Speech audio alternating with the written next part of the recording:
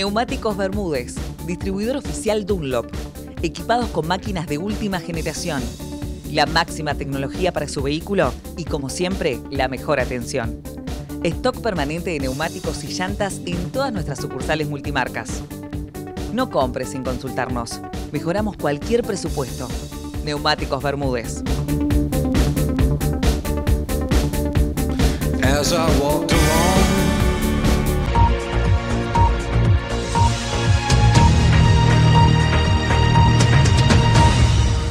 Nació Tiziano, sí, con bajo peso, 34 semanas, el día sábado a la tarde. El día sábado a la noche nos encontrábamos en el nosocomio y nos avisan que se había cortado, va, se cortó la luz en todos lados. Yo pensé que era en ese piso, digo, Neo debe tener grupo electrógeno. Neo no tenía el grupo electrógeno. Había pocos médicos para la cantidad de máquinas que había. Los chicos no saturaban, había que poner, eh, resucitarlos a mano. Yo vi morir y nacer a mi nieto en reiteradas ocasiones. Cuando ya la situación se desbordó, empezaron a llamar gente de todos lados, vino gente del SAME, gente de afuera, gente del Hospital de Niños, gente de Rossi, enfermeros, gente especializada en RCP para poder reanimar a los bebés. Gracias a Dios creo que no hubo ninguna pérdida que yo me haya enterado, pero la situación fue durante dos horas desesperante.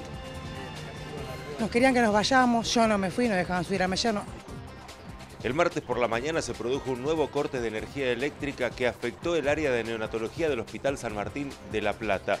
Ya el hecho había ocurrido también hace 10 días, afectando el mismo sector. No es lo único que ocurrió en ese lugar donde las enfermeras debieron alimentar manualmente a los bebés que allí son asistidos de manera mecánica. También en un área de las salas externas es que se cayó un techo. La infraestructura cedió, el techo se derrumbó y este fue otro de los hechos que tuvo como protagonista el Hospital San Martín durante esta semana. Me, tomo un viaje dos individuos en la terminal, le, paso el presupuesto del viaje a la matanza. Iban, fueron todo el camino, viste, hablando, conversando, bien, normalmente. Dos chicos vestidos bien, no estaban mal vestidos tampoco que digamos.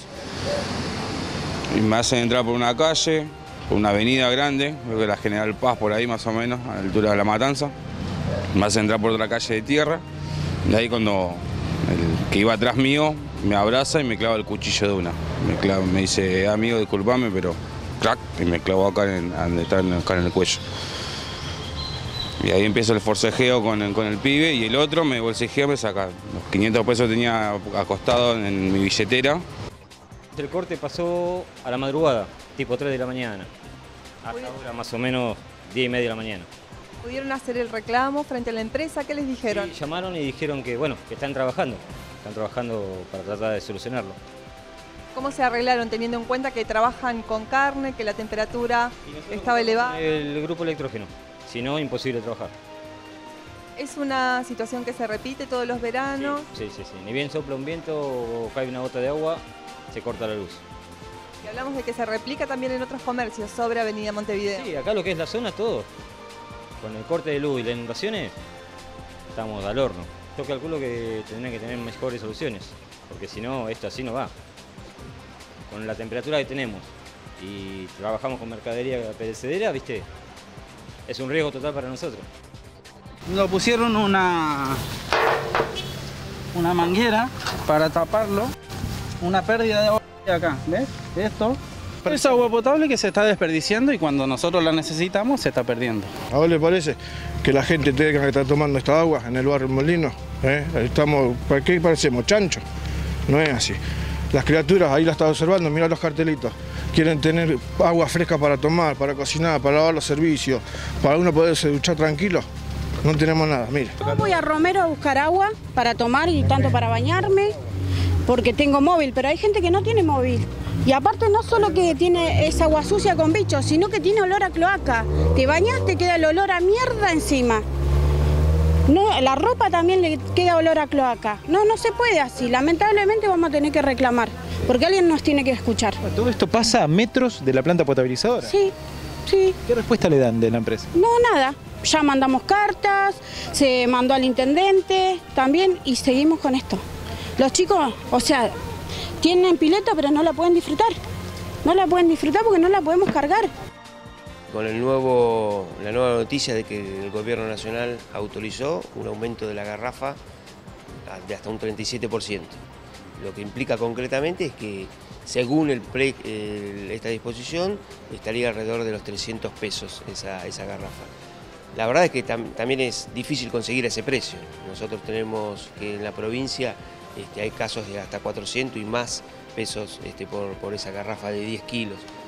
Y otro tema también central es que se aumentó el 37%, pero lo que no aumentó es el subsidio para los que tienen el programa eh, de tarifa de garrafa, de garrafa social. Así que cada vez el subsidio implica menos cantidad de, de gas a la hora de comprar la garrafa. De la Defensoría, el doctor Lorenzino como defensor del pueblo ya el día 9 de, este mes no limpian, no hacen limpieza, hay muchos fierreríos, salen ratas, ya hemos hablado todos los vecinos con el hombre y, y no hacen nada por desratizar o, o limpiar el fondo.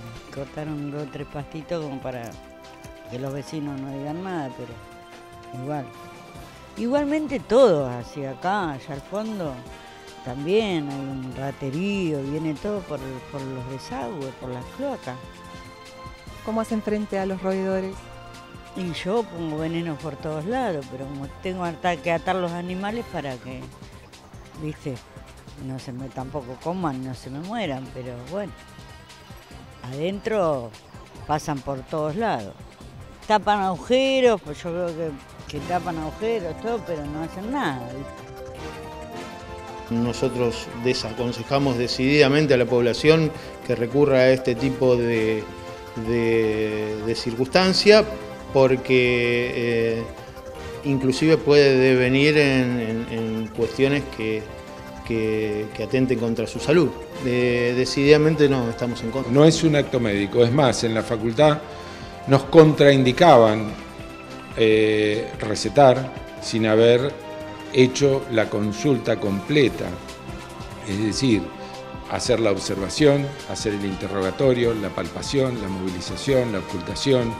Eh, cada una de las cosas, la, medicina es mucho más compleja que un resultado que me pueden mandar por un WhatsApp eh, o por una comunicación online. Sí se puede usar y bienvenido sea la tecnología para hacer las interconsultas, pero es distinto, una interconsulta entre colegas, donde le podemos mandar técnicamente una pregunta o algún estudio para que nos, responda puntualmente sobre algo que eh, atender un paciente. Seguimos con la colecta, ayudando a la gente del litoral.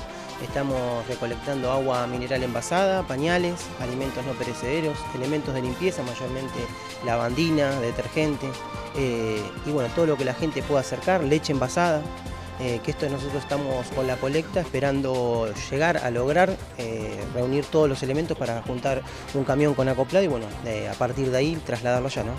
¿Dónde se puede acercar aquel que quiera sumarse? Mira, como nosotros estamos difundiendo por las redes sociales, lo pueden hacer a cualquiera de nuestras tres dependencias, al cuartel central, en la avenida Génova y 164, al destacamento 1 del Carmen, en 95 y 126, eh, y al destacamento número 2 de Villa Azul, en Montevideo 32 y 33. Y también nosotros ofrecemos que la gente que quiera colaborar y no lo puede acercar, se comunique a las líneas telefónicas nuestras y nosotros nos acercamos a buscarlo. ¿Cómo viene la colecta?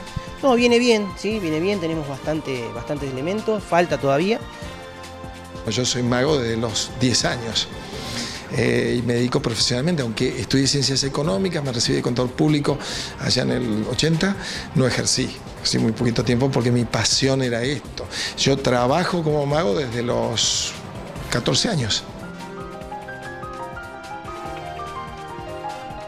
Y nos interesaba llevar paralelamente a la cuestión artística, como es hoy en día, una actividad comercial y de desarrollo de nuestras ideas.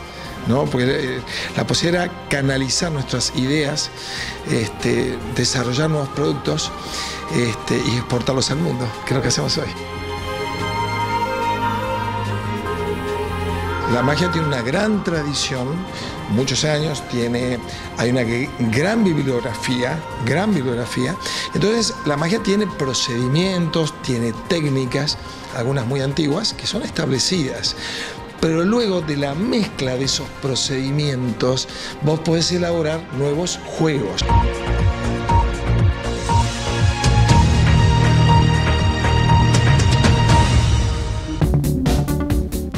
Neumáticos Bermúdez, distribuidor oficial Dunlop, equipados con máquinas de última generación, la máxima tecnología para su vehículo y como siempre, la mejor atención.